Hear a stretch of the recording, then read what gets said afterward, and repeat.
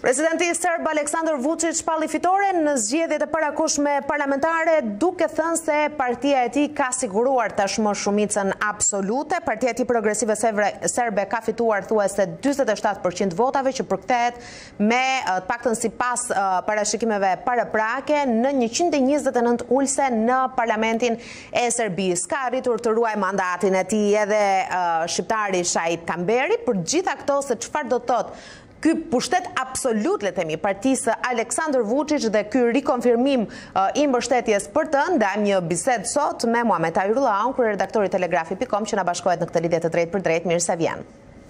Mirëmëngjesi nga Prishtina, Denisa. Njëqind e njëzet e shtatë, njëqind e njëzet e tetë, njëqind e njëzet e nëntë ende nuk është e saktë ulse në parlament për partinë e Aleksandër Vuçiç. Çfarë do të thotë e para që ai siguron shumicën absolute, sikurse ai i kishte vënë theksin gjatë gjithë fushatës së tij për për këto zgjedhje parlamentare dhe pjesërisht lokale. Së pari si e përkthen këtë mbështetje në rritje, sepse Vuçiç vetë ka thënë, jam rritur në çdo qendër votimi me 10% të votave. Realisht edhe për juve besoj, po sidomos për neve në Kosovë, kjo ka qenë e pritshme. Për faktin që zoti Vuçiç ka vite që le të themi jo vetëm që mban pushtetin me të gjitha tentativat edhe në këto zgjedhje. Ju e përmendët faktin që ka një rritje, mirëpo mos të harrojmë, opozita në Beograd kërkon zgjedhje të reja në, në kryeqytetin e Serbisë, sepse pretendon që ka pasur vjedhje të votave, ajo që quhej që njihej në Ballkan si, si treni bullgar. Pra, Natyrisht që ka rritje kur ke një pushtet totalitar edhe të të që kontrollon të gjitha mediat e push atje, të gjithë le të themi aspektin demokratik. Por faji bie prej asaj që ne e kemi parë nga nga Kosova, është që edhe opozita dorën në zemër, opozita serbe nuk ka ofruar një qasje proaktive dhe nuk ka ofruar gjithashtu le të themi kandidatë të cilët publiku do të dilte t'i votonte. Ishte, le të themi, jo e bashkuar edhe në këto zgjedhje. Megjithatë,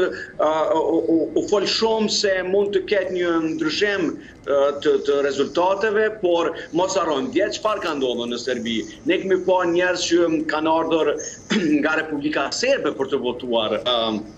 Nga Bosnje Hercegovina, nga veriu i Kosovës. Absolutisht nga nga Kosova kanë shkuar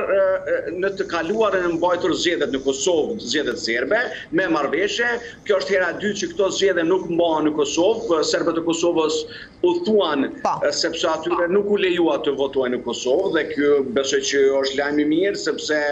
Serbia nuk nuk bëri kërkesë zyrtare për të mbajtur këto zgjedhje në Kosovë me letrën të cilën e kërkonte Qeveria e Kosovës dhe ata shkuan për të votuar në Serbi dhe kjo ishte e pritshme. Për mua ishte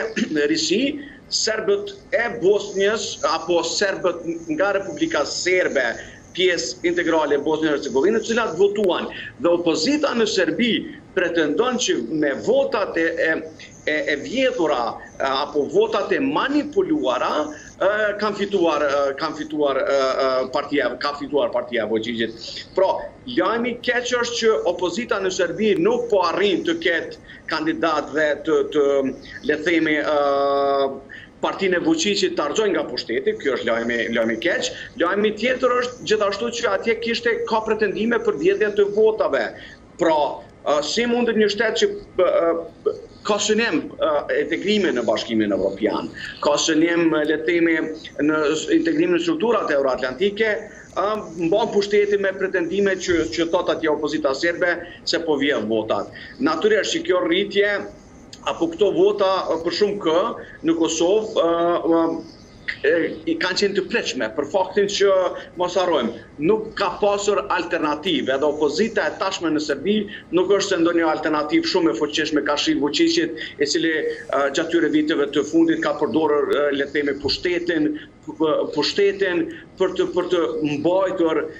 veten dhe njerëzit afër tij që të fitojë sërish në këto zgjedhje. E pritshme, megjithatë, duhet të kujtojmë pak edhe protestat që u mbajtën për muaj të tërë kundër Vuçiç dhe qeverisë së tij pas ngjarjeve të shkuara, por që Vuçiç të fuqizohej me dhjetë për qind thuajse në çdo qendër votimi, të paktën siç thotë ai, sepse Europe Elects që bën mbledhjen e sondazheve dhe të analizave të zgjedhjeve në Europë dhe që ka ndjekur edhe gjithë procesin e votimeve në Serbi, thekson në një raport Serbi, zgjedhjet e parlamentit, mediat vazhdojnë të dominohen nga qeveria, atë që ju përmendët. Në gjysmën e parë të fushatës zgjedhore, por edhe në pjesën e dytë më pas, raporti i qeverisë me përfaqësuesit e opozitës në televizionin kombëtar ishte 81% versus përkundrejt 19% të opozitës. Kjo është Serbia e fund 2023-shit, thekson Europe Elects, kështu që Liri për të zgjedhur, liri dhe për opozitën, edhe pse i mungojnë alternativat, nuk është se ka patur njëqind për qind, edhe pse opozita u mundua që të bëhet bashkë. Protestat në Beograd kishin një kauzë tjetër, nuk ishin protesta me kauzë politike, le ta themi këtë. Po, por në fokus kishin dorëheqjen e qeverisë. Po, jo të Vuçiqit drejtpërdrejt, po të disa ministrave më poshtë, përgjegjës si ministrit të punëve të brendshme, policisë e tjera e tjera. Pra, ato protesta i bashkuan njerëzit në Serbi kundër asoj dhunës që ndodhi vrasjes së tmerrshme, tragjedisë që ndodhi në Serbi dhe pastaj vazhduan ato protesta. Po kjo i bie që opozita në Serbi realisht nuk ishte në krye në krye të këtyre protestave, në ballë të këtyre protestave. Ishin njerëz nga nga akademia, nga universitetet, nga shoqëria civile, aktorë të ndryshëm, pra ishte më shumë se aq, ishte më shumë se aq dhe si duket kjo nuk nuk e, e zgjoi masën kundër Vuçiqit, pra ata nuk arritën, le të themi, në Beograd, në kryeqytetin e Serbisë, ishte pritur që opozita të fitonte bindshëm, por realisht nuk ndodhi kjo, realisht dallimi mes partisë së Vuçiqit dhe partisë e cila është e dyta është dikund 5%. Dhe çfarë, opozita e sotme në Beograd, pra e sotmja, Po pretendon që ka pasur vjedhje të votave dhe manipulime, andaj po rikërkon dalje sërish në në kryeqytetin e Serbisë në në zgjedhje sepse sipas tyre ka pas manipulime. Kjo mbetet të qartësohet. Sa i përket zotit Vuçiq, natyrisht që ai gjatë këtyre viteve të fundit, pra ka përdorur realisht pushtetin, për të kapur edhe ma shumë, le të themi, ato institucione në Serbi dhe për t'i kontroluar ato. Unë kam përcjellur shumë fushatën në media, në media dhe natyrisht, le të themi, 90% e mediave në Serbi kanë qenë pro, pro Vuçiqit dhe kanë qenë, kanë madje, kanë publikuar skandale të ndryshme duke kundërshtuar opozitën e sotme. Dhe shumë pak media në Serbi kanë qenë gjithashtu le të themi zë kritik ndaj kësaj ndaj qeverisë dhe ndaj pushtetit të Vuçiqit. Dhe kjo nuk është e mirë, besoj, edhe për Ballkanin edhe në përgjithësi për për për vetë Serbinë, por po po le të themi pak te te çështja që ka të bëjë me me Kosovën. Mendoj që ndoshta për Kosovën mendoj që më mirë do të jetë që zoti Vuçiq do të vazhdojë të jetë në pushtet për faktin që zoti Vuçiq është në pushtet që dhjetë vjet, i ka nënshkruar ose ai ose njerëzit afër tij të gjitha marrëveshjet me Kosovën dhe ai këtë çështje nuk mund ta delegojë te dikush tjetër pra ai do të ballafaqohet sërish nesër edhe përkundër faktit që në Serbi çështja e Kosovës u përdor shumë nga të gjitha partitë politike pa dallim duke thënë se nuk duhet të pranohet plani franko-gjerman, Kosova duhet të, të, të, të shikon mundësitë për ta, për ta rikthyer Kosovën e tjera e tjera. Pra, kur po vjen puna te çështja e Kosovës, mendoj që të gjithë ata, a, a, kur po them te çështja e Kosovës, te çështja e finalizimit të marrëveshjes ndërmjet Kosovës dhe Serbisë. Dhe zoti Vuçiç tashmë do ta ketë sfiduese këtë, sepse mos harrojmë, vetëm pak ditë më parë, zonja që është kryeministre, zonja Bërnabiç, e dorëzoi një letër në Bashkimin Evropian duke thënë që ne nuk do të pranojmë disa nga pikat e kësaj marrëveshje dhe unë mendoj që tashmë Bashkimi Evropian ë prej asaj që unë kam parë dhe kam lexuar i bie që shumë shpejt do t'i tregojë pak a shumë dhëmbë ndaj kësaj sepse ishte ishte fushatë zgjedhore në Serbi dhe ata nuk donin të ndërhynin mirëpo nuk mendoj që kjo letër duhet të kalojë kështu kaq lehtë Mirë, zoti, zoti Lajçak ka thënë që periudha e vitit të ri e krishtlindjeve shumë e ngarkuar për Brukselin bëhen mbylljet e vitit, bilanci, kështu që janari mbrapa do të mund ta kemi ndoshta një vijim të dialogut. Por më lejo Muhamet, shkurtimisht se jemi në limite të kohës, vetëm dy momente të tjera dua të përmend, meqense pak më parë iu referove marrëveshjes, marrëdhënia me Kosovën, Aleksandër Vuçiç që i ka ndjekur prej 10 vitesh, 11 vitesh për sa kohë është në në krye të shtetit, Dhe një pjesë të paktën e dialogut apo edhe e diplomacisë serbe i ishte besuar Ivica Daçiç. Tani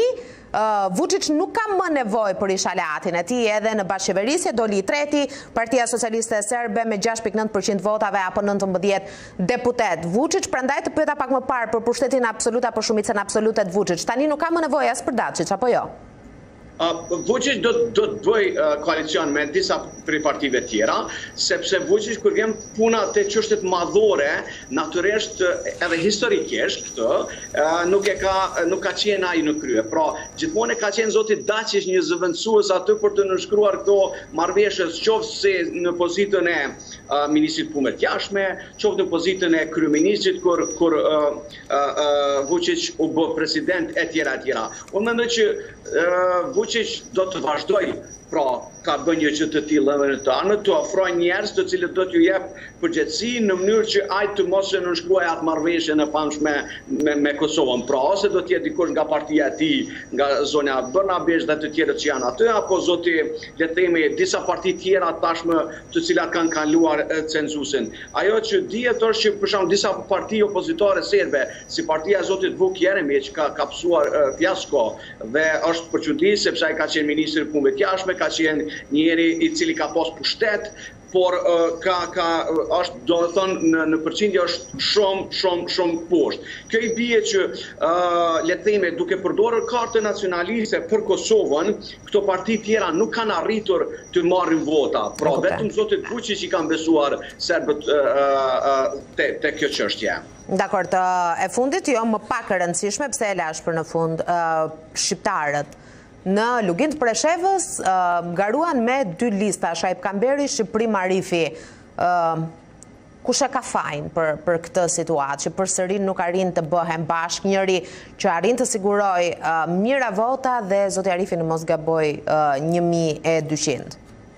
Realisht fajtor janë absolutisht dy palët sepse nuk kanë arritur të gjejnë gjuhën e përbashkët, mirëpo për mua fajtor më i madh është zoti Shqiprim Arifi i cili vazhdon ta luajë një le të themi një një një person i cili vjen në Kosovë dhe vjen në Shqip dhe shkon në Shqipëri edhe nëpër media edhe fillon të të merret me me me atë që ai e quan ai e quan ndërhyrje nga Kosova ose ndërhyrje e Albin Kurtit për të për për shqiptarët. Mendoj që një kryetar aktual i Preshevës nuk do duhej të bënte veprime të tilla sidomos për të irrituar njerëzit. Prandaj mendoj që votimi është shumë i vogël, dalja e njerëzve në komunën e Preshevës ku ai udhëheq është shumë e vogël. Njerëzit kanë dalë shumë për të votuar në komunën e Bujanocit, prej nga vjen zoti Shaip Kamberi, dhe aty ai ka marrë numrin më të madh të votave, pra komuna e Bujanocit dhe rrethina, pastaj edhe në Preshevë. Natyrisht që le të themi edhe votuesi shqiptar në momente të caktuara si kjo, ta kthen me votë ashtu ose si sillesh ti dhe mendoj që zoti Shqiprim Arifi ta ketë mësuar këtë këtë veprim dhe ta ketë kuptuar qartë. Ajo çka është shqetësuese që s'u përmend shumë këto zgjedhje është në Preshevë nuk janë mbajtur zgjedhjet lokale, as në Bujanoc, pra janë mbajt zgjedhjet për nivelin nacional për parlament. Aty ishte zoti Shaip Kamberi bartës dhe kishim partinë e zotit Shqiprim Arifi, Alternativa. Por në komunën e Medvegjës janë mbajtur zgjedhjet lokale, zgjedhjet lokale për asamble komunale, ende nuk ka ende nuk ka rezultate qartësuese, do të jetë shumë keq nëse shqiptarët nuk mund të marrin, le të themi, njerëz që do të jenë të përfaqësuar në asamblenë komunale të Medvegjës, sepse kjo pastaj do të do të vazhdonte diskriminimi edhe më i madh ndaj tyre, sidomos me pasivizimin e adresave në komunën e Medvegjës. Pra, për dallim prej Preshevës dhe Bujanocit, në Medvegjë kishte edhe zgjedhje lokale, ende nuk është e qartë se sa vende apo a kanë ndonjë vend shqiptarët në në komunën e Medvegjës dhe kjo mbetet për t'u parë dhe është gjithashtu shqetësuese se ende nuk dihet se cila do të jetë pozita e tyre në të ardhmen në asamblenë komunale të Medvegjës. E kuptoj, sepse numërohen fillimisht votat për parlament dhe më pas ato për zgjedhjet lokale, kështu që mbetet për t'u parë. Muhamet, faleminderit, ka shumë zhvillime në fakt nga Kosova për të cilat vlen të diskutosh, ndoshta edhe për një bilanc të këtij viti. Megjithatë, do të kemi mundësi besoj edhe në dy javët në vijim, sepse ka patur një lajm interesant të javëve të fundit, të ditëve të fundit, më saktë. Me Albin Kurtin që njëjtë si Vjosa Osmani javën e shkuar ka përsëritur se nuk e përjashton mundësinë e një sulmi të ri serb pas ngjarjes së 24 shtatorit në Banjskë, nëse ti ke ndonjë detaj, ka informacione sepse besoj as presidentja dhe as kryeministri nuk flasin në ajër. Jo, prej informatave që unë i kam është që institucionet e sigurisë së Kosovës janë në nivelin më të lartë të le të themi vigjilencës për faktin që tentativa, zoti Radoiçiq është i lirë sot në Serbi dhe zoti Radoiçiq mund të tentojë të rikthehet përsëri me ndonjë grupacion tjetër në Kosovë. Ajo çfarë flitet, Denisa, dhe çfarë është thënë është që ata po presin le të themi zgjedhjet në Serbi, sepse kjo nuk do t'i konvenonte Serbisë Po të kishte ndonjë trazirë tentativë tash të re, sepse e Serbia ishte në mesin e zgjedhjeve dhe dhe fushatës, por ajo çfarë gjithashtu përmendet është që kjo mund të ndodhë në muajt e ardhshëm, që i bie janar, shkurt e tutje, pra sepse në Serbi do ta kemi një qeveri, parlament të ri dhe tentativat e Radoiçiqit derisa ai vazhdon të mbetet i lirë dhe Serbia të mos merr asnjë masë ndaj tij, përkundër faktit që Interpoli lëshoi një një fletarrest apo red notice që po quhet, kjo mbetet shqetësuese, se çfarë do ndodhë, a do të determinojë dialogu apo do të determinojë le të themi konflikti, mbetet të shihet është shumë pak e paqartë kjo situatë. Dakord, Muhamet faleminderit dhe mirutakofshim. Javë të mbarë. Do të kem, faleminderit.